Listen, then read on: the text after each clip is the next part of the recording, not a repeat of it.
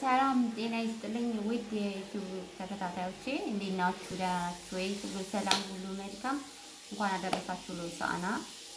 እንግዲህ በሰላም ጾሙን እንዲያስፈታልን ሁላችንም ምኞት ነው። ለተቸገሩትን ፈጣሪ ይድረስላቸው። የተፈናቀሉትን በሰላም ወደ ቤታቸው እንዲመለሱ ፈጣሪ ምሕረቱን ያወርድልን። ወደ ፍቅር ቤት ወገኖቻችን አንድ ያድርግልን። ጦርነቱን ያብርድልን፣ ሰላም ያወርድልን። ሲቀጥል ዛሬ ማለት ነው ስወዳችሁና ስወዳችሁ ውድ የሀገሬ ልጆች ስወዳችሁ ውድ ኢትዮጵያኖች እኔ በቃ ኢትዮጵያ ልገባ ስለሆነ ጠቅልዬ ልገባ ስለሆነ እዛ ገብቼ ስራ የለኝም። የቤተሰብ ኃላፊ ነኝ። ስለዚህ ከቤት ስወዳችሁ subscribe አድርጉኝ። ምንም አይከፈልበትም። ስለዚህ subscribe አድርጉኝ። እኔ ልጆች እናት ነኝ። ስለዚህ ልጆቼን ማሳደግ እፈልጋለሁ።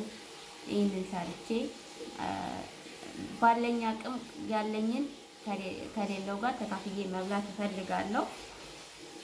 በተቻላችሁ ማንም ሰው ሳይቸገርና ሳያጣ አገሩን የሚወዳትን አገር ትቶ አይመጣም። ስለዚህ አስር አመት ሙሉ ሰርቻለሁ፣ ግን የተለወጥኩበት ነገር የለም። ስለዚህ አገሬ ላይ ገብቼ ከልጆቼ ጋር መኖር እፈልጋለሁ።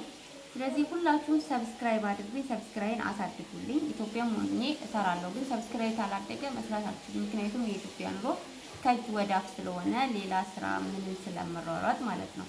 እና በቻላችሁ ተጠቀም። ለእናንተ እኮ በቀን አንድ ሺህ ማስገባት ለእናንተ ቀላል ነው። የኢትዮጵያ ሕዝብ እኮ የዋህ ነው፣ ደግ ነው አይደል? ደግነታችን ደግሞ ይቀጥል፣ ትብብራችን ይቀጥል። እንተባበር እና ተባብራችሁ እኔን እህታችሁን አሳድጉኝ ይላችኋለሁ።